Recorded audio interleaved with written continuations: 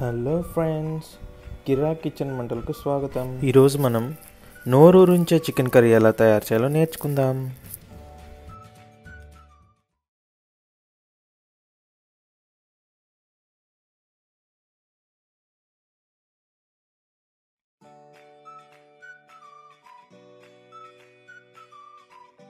ముందుగా చికెన్ కర్రీకి కావాల్సిన పదార్థాలు.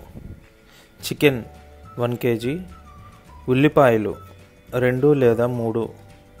టమాటో ఒకటి. దాన్ని కూడా పీసెస్ చేసుకొని పక్కన పెట్టుకోవాలి. ఈ వీడియోలో అల్లం వెల్లుల్లి పేస్ట్ ఎలా చేసుకోవాలో కూడా నేర్చుకుందాం. అల్లం వెల్లుల్లి పేస్ట్ కొరకు ఫిఫ్టీ గ్రామ్స్ అల్లం ఒక చిన్న సైజ్ తెల్లుల్లిపాయ. కర్రీ టేస్ట్ కొంచెం డిఫరెంట్గా కావాలంటే ఒక నిమ్మకాయని యాడ్ చేసుకోండి. కర్రీ ఎక్స్ట్రా స్పైసీగా కావాలంటే పచ్చిమిరపకాయలు రెండు లేదా మూడు యాడ్ చేసుకోండి. ఉప్పు రుచికి సరిపడా కారం రెండు లేదా మూడు టీ స్పూన్లు. మీరు పచ్చిమిరపకాయలు వేసుకుంటే కారం రెండు టీ స్పూన్లు సరిపోతుంది. ధనియాల పొడి హాఫ్ టీ స్పూన్ పసుపు half teaspoon chicken masala మూడు టీ స్పూన్లు. కర్డ్ సరిపడినంతగా ముందుగా అల్లం వెల్లుల్లి పేస్ట్ ఎలా చేసుకోవాలో చూద్దాం. అల్లంని కడిగి తోలు తీసి ఇలా ముక్కలు చేసుకొని రోకల్లో దంచుకుందాం. ఇప్పుడు తెల్లుల్లిపాయలు కూడా అందులో వేసుకొని రెండు టీ స్పూన్ల పేస్ట్ వచ్చేలాగా దంచుకుందాం. అల్లం వెల్లుల్లి పేస్ట్ తయారు చేయడానికి కొంచెం టైం పట్టినా మనమే రోకల్లో దంచుకుంటే చికెన్ కర్రీ టేస్ట్ అద్దరిపోతుంది. అల్లం వెల్లుల్లి పేస్ట్ ఫ్రై అయిందండి. ఇప్పుడు చికెన్ కర్రీ ఎలా తయారు చేసుకోవాలో చూద్దాం. చికెన్ని ఒక గిన్నెలో తీసుకొని పసుపు ఒక టీ స్పూన్ అందులో వేసి శుభ్రంగా కడిగి పెట్టుకుందాం.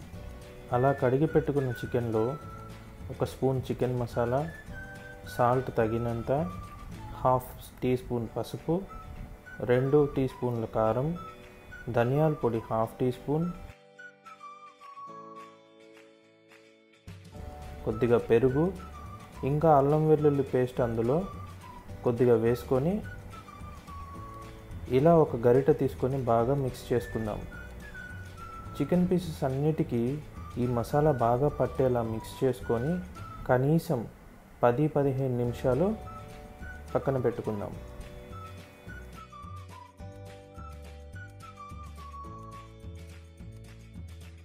ఉల్లిపాయలను కూడా ముక్కలు చేసి పేస్ట్ చేసుకొని పక్కన పెట్టుకోవాలి. ఇలా మిగిలిన అల్లం వెల్లుల్లి పేస్టు మరియు ఉల్లిపాయల పేస్టు పక్కన పెట్టుకోవాలి. మనం పది పదిహేను నిమిషాలు పక్కన పెట్టుకున్న చికెన్లో మసాలాలు బాగా ఊరుంటాయి. ఇప్పుడు స్టవ్ మీద ప్యాన్ పెట్టుకొని అందులో ఆయిల్ పోసుకుందాం.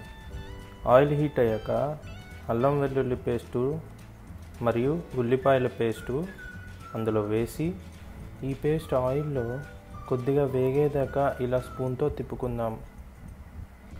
మీరు పచ్చిమిరపకాయలు వేసుకోవాలంటే ఈ పేస్ట్తో పాటు అవి కూడా ప్యాన్లో వేసుకోవాలి.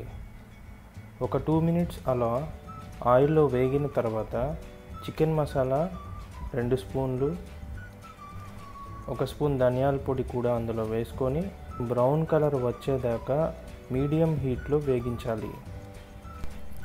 అలా బ్రౌన్గా వేగితే అల్లం వెల్లుల్లి పేస్ట్ పచ్చివాసన పోతుంది.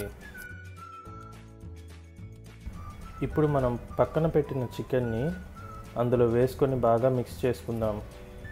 టూ మినిట్స్ అలా మిక్స్ చేసుకొని మగ్గనిద్దాం.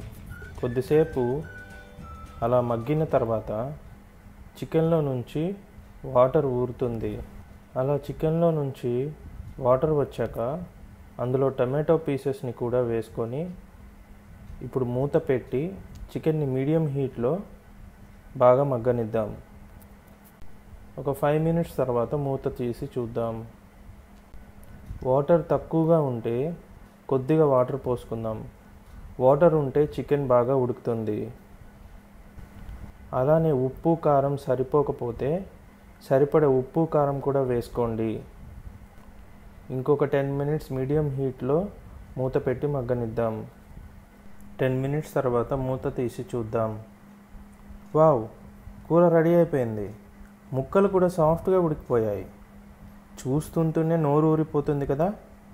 ఈ వేడి వేడి చికెన్ కర్రీని రైస్లో చపాతీస్లో ఇడ్లీ దోశ పూరి వడల్లో ఇంకా చాలా వాటిల్లో సర్వ్ చేసుకోవచ్చు.